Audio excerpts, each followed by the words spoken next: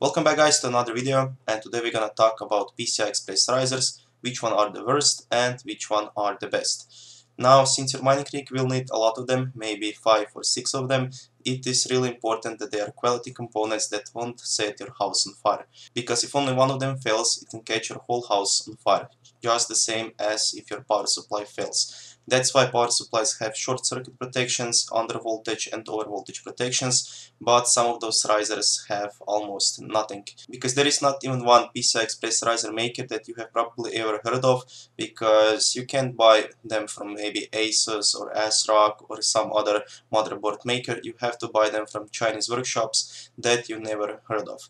So let's start with the first one and build the way up to the best one. So the first riser that we have here is version 002 and this is one of the first risers that have ever hit the market. Now this riser is really the worst one and you should not even use it if you get it for free, you should just throw it in the trash because the other ones are so much better that this one has no way of uh, working stably. It has only three solid capacitors compared to other ones that have four all of them and it has Molex 2 SATA connector. Now SATA connector can only give 45 watts of power and Molex, Molex can give about 70 watts of power but it is drawing the power from your power supply from the SATA cable so it can only give your GPU 45 watts of power and if it tries to draw more power from your power supply than the SATA cable can provide, it can throw a spark, it can melt and it can burn your house. Now I don't really like those Molex cables, I have thrown away all of them last week because I have noticed that if you really try to push them hard uh, into the socket right here, sometimes those cables can come out, it can short circuit them and it is not really a reliable source of power for your rig.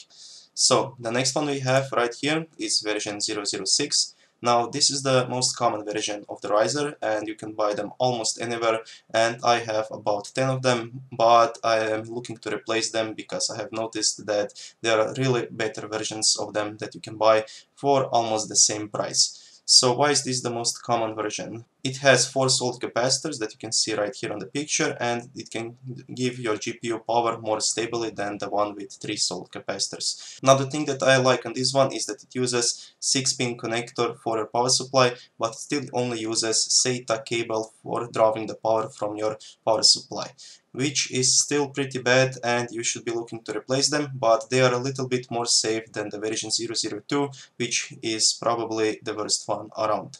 So the next one we have is version 007 and this one the only difference that I have found is that it has red LED and that's almost everything.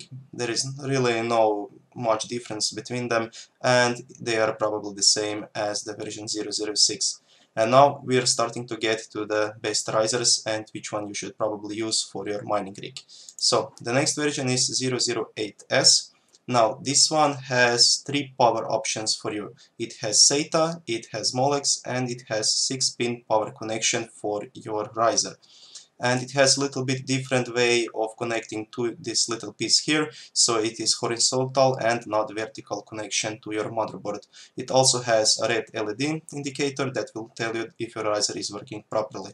Now you should never actually use those SATA or Molex connections right here. Only thing you should ever use is 6-pin connector right here because it can give up to 75 watts of power to your riser.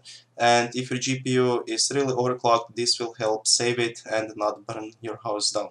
And it is really important to choose the best risers that you can because you don't even know how important they are until they start sparking and they start breaking. Now this one I really like but there is one more version that is probably a little bit better than this one and it is the newest version that you can find on Amazon or on eBay and it is the version 9. So the version 9 has two 6-pin connectors and one SATA connector. So avoid this SATA connector right here and just connect one or two 6-pin power connectors right here.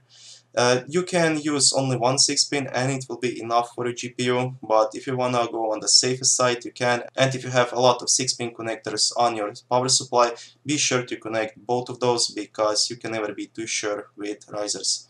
So this is the one that I would choose and this is the one that I will choose for my next mining rigs and only this one.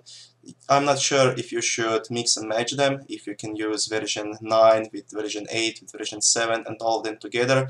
Well, you actually can, but I'm not sure if they won't give you any problems. So be sure to choose this one, the newest version you have right here, and probably this is the best choice that you can make. So thank you guys for watching, let me know what kind of risers do you use, and see you soon in another video. Bye.